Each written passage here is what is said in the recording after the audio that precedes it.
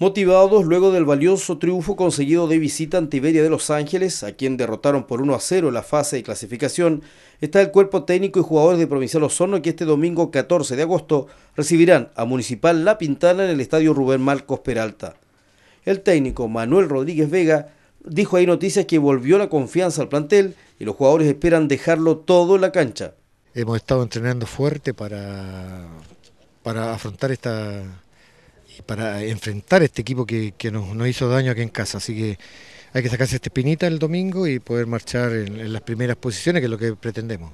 Para Manuel Rodríguez Vega, el buen resultado obtenido de visita ante Iberia en Los Ángeles permiten trabajar con mayor confianza de cara a los próximos encuentros. El triunfo allá fue muy importante, los niños están muy entusiasmados y esperamos seguir en esa, en esa senda para, para llegar a donde el objetivo que tenemos todos planificados y espero que con la ayuda de, los dirigentes y de todo el mundo podamos alcanzar las metas.